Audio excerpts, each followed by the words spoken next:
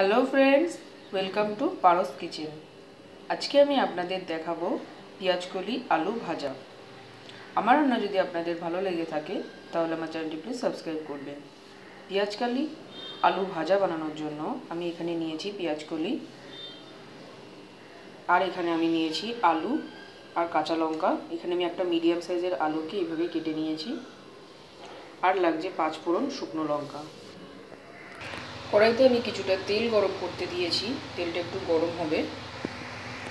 তেলটা গরম হয়ে গেছে। আমি এবার পাঁচ ফোড়ন আর শুকনো লঙ্কা দিয়ে দিলাম।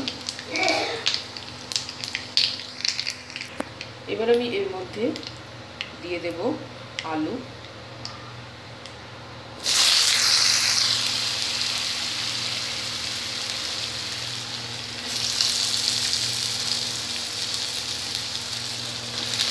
পেঁয়াজ কলি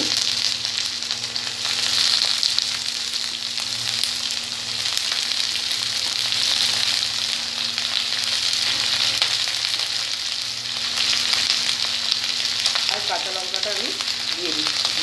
আপনারা যদি বেশি ঝাল খেতে চান, তাহলে এখানে কাঁচা লঙ্কার পরিমাণ বাড়িয়ে দিতে পারেন।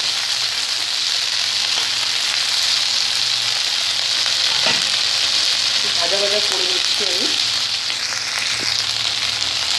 পেঁয়াজ আলুটা ভাজা হচ্ছে।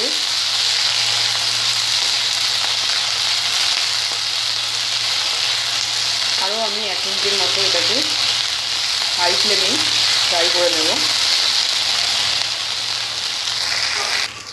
এক মিনিট ফ্রাই করে নিয়েছি আমি। এবার আমি গুঁড়ো মশলা দেব।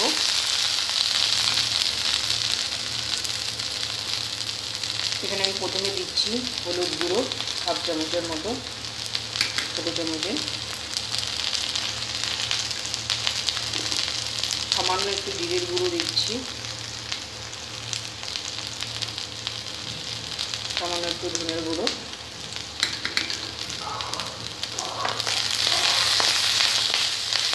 এবার আমি ফ্লেমটাকে মিডিয়াম করে দিচ্ছি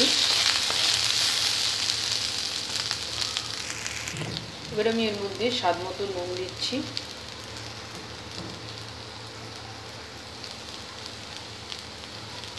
ফ্লেমটাকে আস্তে করে দিয়ে আমি ঢেকে রান্নাটা আমি হতে দিচ্ছি দু থেকে তিন মিনিট।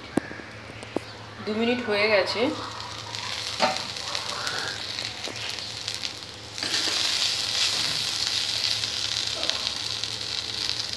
আলুটা সিদ্ধ হয়ে গেছে নিশ্চয়ই।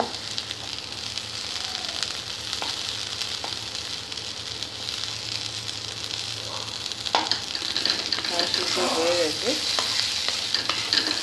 রান্নাটা আমার কমপ্লিট হয়ে গেছে। ফ্লেমটাকে অফ করে দেবো। পেঁয়াজকলি আলু ভাজা তৈরি হয়ে গেছে। আমার ভিডিও দেখার জন্য ধন্যবাদ। আমার চ্যানেলটি প্লিজ সাবস্ক্রাইব করবেন।